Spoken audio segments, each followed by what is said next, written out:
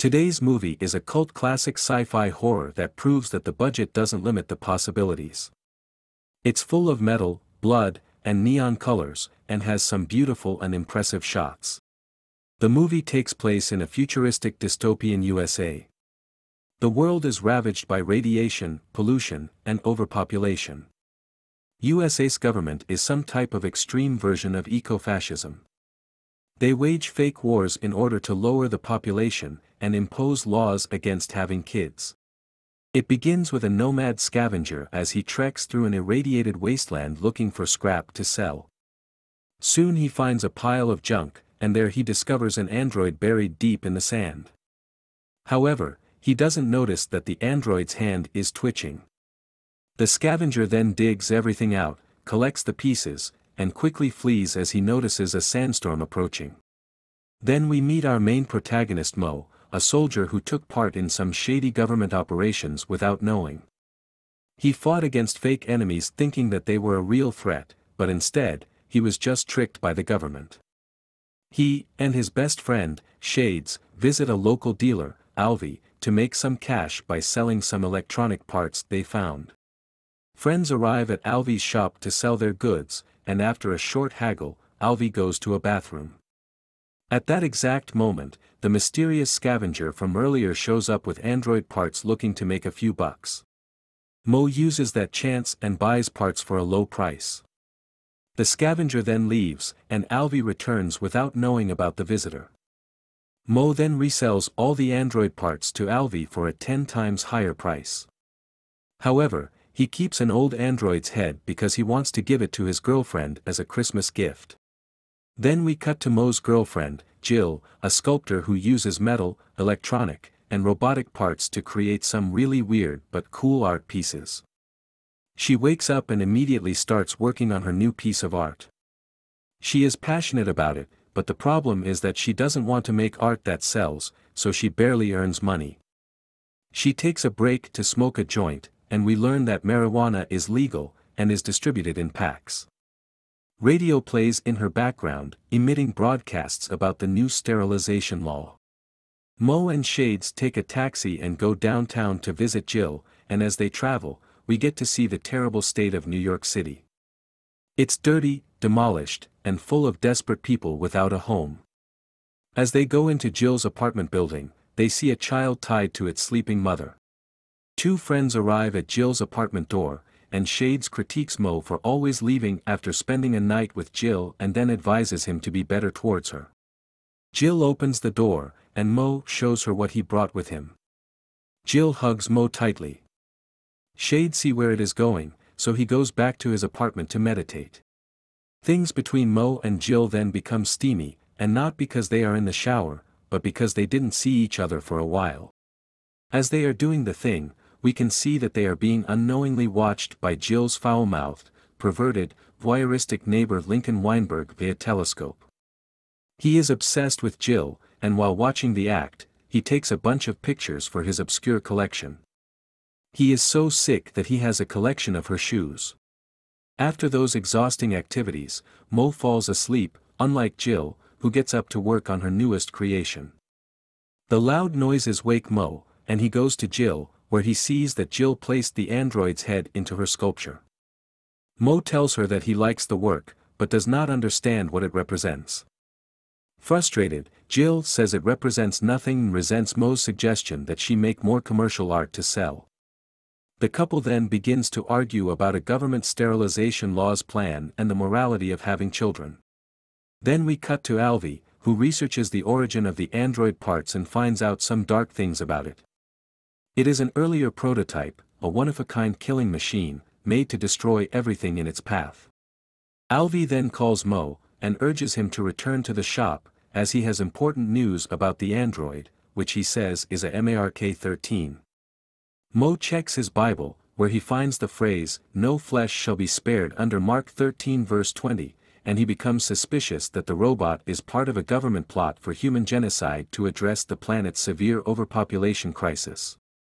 Mo then heads to meet with Alvy, who is still researching the information about MARK-13. At the same time, Alvy is learning more and more about the model, which is a pure deadly machine with many weapons that can bring pain and kill in a hundred ways. Suddenly, the android's arm starts moving around, but Alvy doesn't notice it at all, as his attention is occupied by secrets of the government. Jill gets out of her bed to smoke one, and Lincoln uses that chance to take more photos of her naked body.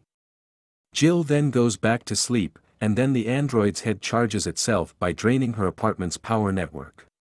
Then it takes control of the sculpture, and it starts rebuilding itself. The android's hand at Alvy's place is technically its original part, so the android can control it remotely. Mo arrives at Alvy's place and finds him dead of a cytotoxin and evidence that the robot is an experimental combat model capable of self-repair. Alvy's notes also indicate a defect, a weakness to humidity. Mo figures out that Jill is in grave danger so he calls her but she doesn't answer. Then he calls Shades who luckily picks up the phone. Mo tells him to go and check on Jill. Shades gets up, but earlier he spiced his meditation with some drugs, and that causes him to lose consciousness. The TV wakes Jill up, and the fully reconstructed android attacks her, but she manages to dodge the attack at the last second. She quickly leaves the room, while the android hides and patiently waits under the veil of darkness to play a game of cat and mouse. Lincoln sees the robot close the blinds while trying to peep at Jill. He decides to visit her and manages to open the apartment door. He immediately starts being creepy towards Jill, who tries to threaten him with Mo and says that he is in the army. However, Lincoln doesn't care about that because he is at last alone with her. Lincoln offers to override the emergency lock that traps them in her apartment, explaining that he set up the security for the building. After another series of sexually inappropriate comments toward Jill, Lincoln manages to override the emergency lock. Then, he notices that the blind on the window is closed, so he goes to open them so he can more easily peep at Jill. However, as he opens the blinds, the android attacks him, bringing some justice and eradicating the pervert.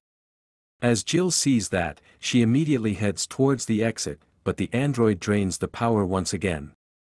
At the same time, two security guards play chess, without a care in the world, and without knowing that the bloodthirsty android is in the building. Jill then remembers that the android probably has infrared vision so she hides in a fridge, and luckily she is right. The android doesn't manage to see her in the fridge, but he still keeps looking, like he can sense her somehow. Suddenly, Shades contacts her, and that steals the android's attention, buying enough time for Jill to attack it. She wounds him, turns on her gas stove, and throws a match, causing a huge fire. Jill then takes a short walk through her apartment to look at all the damage that the android made. She gets a notification that someone wants to enter her apartment and assumes that it's Shades. Jill opens the door and sees Mo, Shades, and the apartment security team armed. Then we see that the android is behind her. Jill gets down, and the boys start blasting hard so hard that bullets push the android out of the window.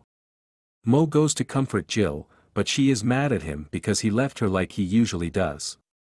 She joins Shades, who is by the way still under the influence of drugs, and together they take a break to enjoy the city's view. Mo shows up, apologizes to Jill, and assures her that he will never leave her again as he did. The couple embraces each other, but at that moment, the android pulls Jill out of the window, and she grabs onto an electric wire. Mo blasts the android away and then instructs Jill what to do because he can't grab her due to electricity. As Jill decides to jump, the android cuts the wire, and she falls into a neighbor's apartment. The android injects Mo with a toxin, and Mo begins to hallucinate really badly. Mo experiences euphoria and a series of hallucinations as he cuts himself to try and suck the venom out, but he dies. Jill wakes up and immediately heads to her apartment to help Mo, without knowing that he is dead, while Shades and two security guards follow her. The android hacks the apartment door, which traps one security guard, and as they split him in half, he fires his gun and kills the other security guard. Jill finds Mo's dead body. Her mourning is then interrupted by the android. Jill then hacks into the android CPU and attempts to communicate with it, but the android isn't a communicative type, so she fails, but at least she manages to learn that the humidity is his weakness. Jill then lures him to the shower, intending to release the water. However, the android is the deadly harbinger of pain and death, so he makes things harder for Jill, as it attacks her brutally. Shades manages to get past the malfunctioning door like a boss and then takes the gun from the dead security guard. Then, he quickly goes to the bathroom to help Jill. Shades shoots the android, and Jill releases the water and gets away. The android short circuits and Jill lets all of her rages out, as she smashes it to pieces. The next morning, a radio broadcast announces that the MARK-13 has been approved by the government and will be mass manufactured.